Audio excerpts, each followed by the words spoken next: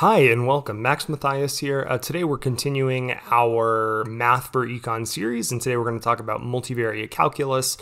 Uh, the disclaimer, uh, as I make always with this, is this is not going to be an in depth look at multivariate calculus and the theory behind it. Uh, for those of you that have taken like Calc 3, you know that here we're barely going to be scratching the surface. Again, this is think of it as an applied uh, tool for what you'll need for economics. So, with that, let's get started.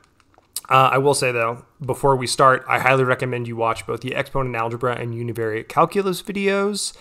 Uh, multivariate calculus, it can seem a little bit scary at first, but really it is just a simple extension of univariate calculus with one wrinkle. Uh, and then those need to know derivatives also apply here. So, like the power rule, uh, how do you deal with logs, things like that, uh, all of those apply here. Those rules are still the same. And then exponent algebra will let you simplify uh, the derivatives uh, in other ways when they get a little bit more complex. So, why do you need multivariate calculus for econ? Uh, we're basically always going to be dealing with functions of multiple variables. Why is that?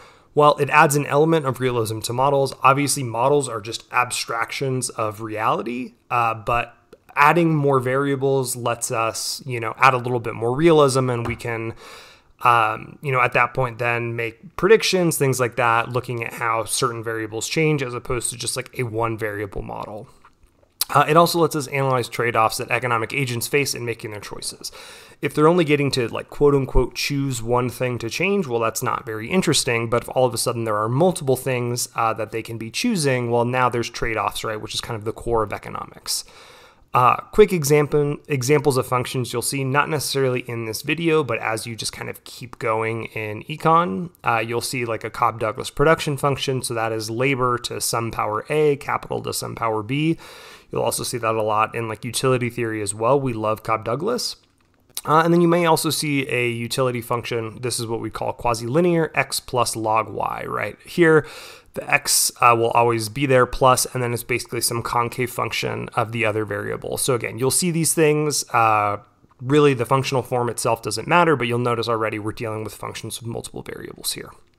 Um, Importantly, our goal is to use these functions to try to deepen our economic understanding of, you know, the world or whatever kind of model we're looking at. At the end of the day, we're not doing math just for math's sake. Although, uh, if you asked my undergrads, that they would think we're just doing math for math's sake. But I promise you, there is a deeper point behind what we do. So, what are we interested in in functions of multiple variables? Well, let's say we have some function of x and y. There are two things we want to know. The first is how the function changes if we only let x change or if we only let y change, right? So basically hold the other one constant, let one change, and let's see how it changes. And then how the function changes as I let both change, right? And is there an interaction there at all? Uh, the nice thing is that both of these kind of questions can be answered with the same tool, which is the partial derivative, uh, which is that interesting looking, you know, kind of D sign there, right? I Took me a while to practice how to draw that. I know it sounds very weird that I practice how to draw things that in Greek letters uh, during my time, but uh, so it's not a like normal d like we would take for a uh, derivative of a single variable. It's a little bit funky, but uh, all good there. So what is the partial derivative? Well, to kind of bring this up, let's talk about well, how does this function of x and y change as only one variable changes? The partial derivative is actually very simple, right? We're taking the derivative with respect to whatever our variable of interest is. Here I'll say it's x, and you hold the other variable constant.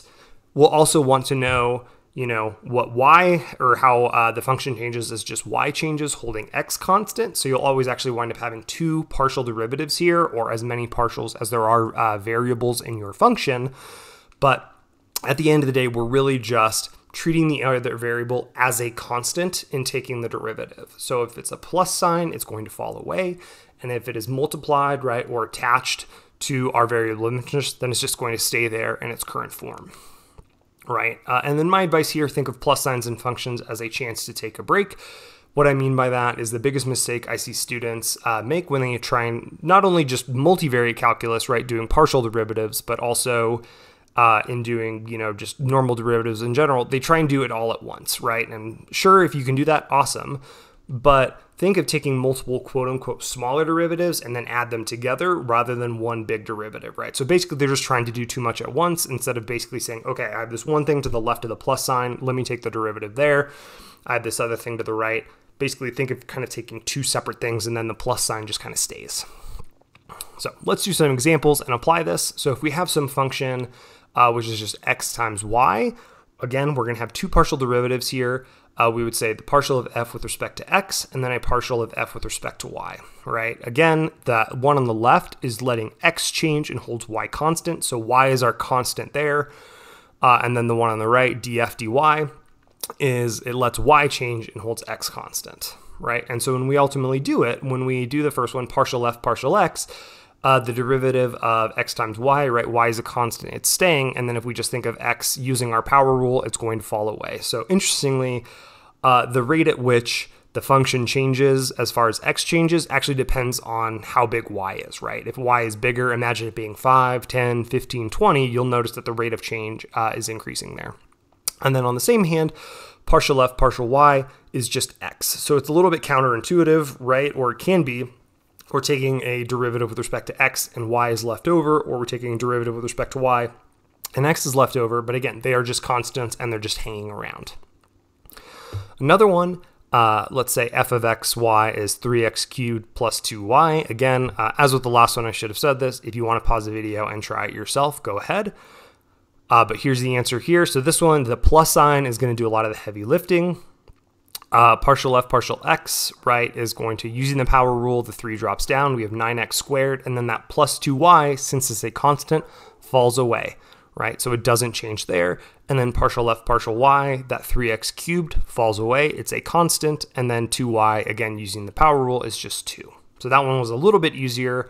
Uh, but when you do have x and y multiplied together, notice there, I should say, know that the other variable is probably going to stick around, right? When you have plus signs, uh, one will probably go away. So the total derivative, so now we're moving to that second question. How does this function change if we let both x and y change?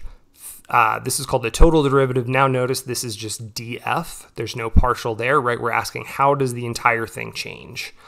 The nice thing is the partial derivative is still the answer.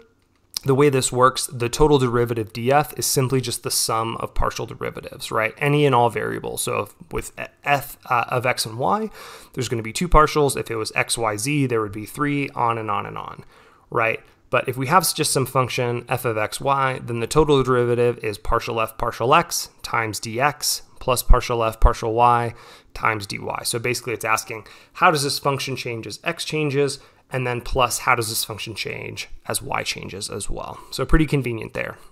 What's interesting though is that we aren't interested in the kind of total derivative on its own, but there is an application of it that we are interested in. And that application is called the implicit function theorem. So what we're going to do here is if we hold this function constant, right? So if we don't let it change, so its part or its total derivative would be zero, we can then measure changes in y as a function of changes in x, or vice versa, right? The thought process behind this, right, is if the function itself isn't changing as x changes, y has to change in response to keep the equation in balance or vice versa, right? If we're not letting the function change, if y changes, then x has to change in response, again, to make sure that the overall value of the function doesn't change. So implicitly, y is a function of x. If x changes, y's got to change in response to keep that total derivative equal to zero. So the theorem itself explicitly basically just says we're going to start with that definition from the last slide, right? The total derivative is that sum of partial derivatives. We're going to set that total derivative equal to zero. We're not letting the function change. So all that does is just putting a zero on the left-hand side of the equation. And then we're going to try and solve for then dy dx, our kind of traditional derivative formula. So in solving for that, right, uh, the first thing I would do is move the entire uh, partial f partial x dx over to the left-hand side divide dx, and then divide the partial, right? So ultimately you get dy dx is negative partial f partial x over partial f partial y. That is a really important thing to remember. Again, if you don't, I'm not a huge kind of fan of making people memorize things, but you can always basically just derive this, right? But if you memorize it, awesome, no issues there. So let's do an application here. If we have some function like we uh, had earlier, 2x squared plus y cubed, how do we go about doing this implicit function theorem? Well, you're going to solve for the partials first. So partial f partial x is just 4x. Again, the y cubed falls away. Partial f partial y is 3y squared using the power rule, and the 2x squared would fall away. And then you can just plug it into the formula. So that negative is going in front of 4x, and then 3y squared. So as it's you know stands there, basically that's not a ton of information, but if you wanted to assign specific values to the uh, function itself, you know, 25, 37, I don't know, whatever, you can plug in values of x and y that would make it work. So at that point, you're actually getting a, uh, a rate of change that is a number as opposed to kind of just another function of variables.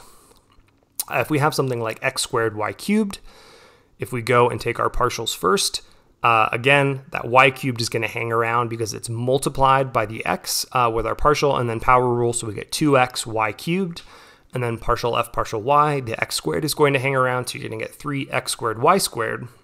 And then when you plug this into the formula, you would get negative 2x y cubed over 3x squared y squared. This is where the exponent algebra comes into play, and you can just simplify that to negative 2y over 3x. Again, you could plug in explicit values for f of x, y to make sure that the x and y, you know, ultimately equal that, and that will give you kind of explicit rates of change for different values. Uh, but this tells you for any combination of x and y, what is going to be the derivative of y with respect to x. Uh, I'll talk more later. There is a reason why we do this. It uh, gives us a slope of indifference curves and also of isoquants, which are things that I uh, promise I will do videos on later in the future. So with that, thank you so much for watching. If you got anything out of this, please consider liking and or subscribing.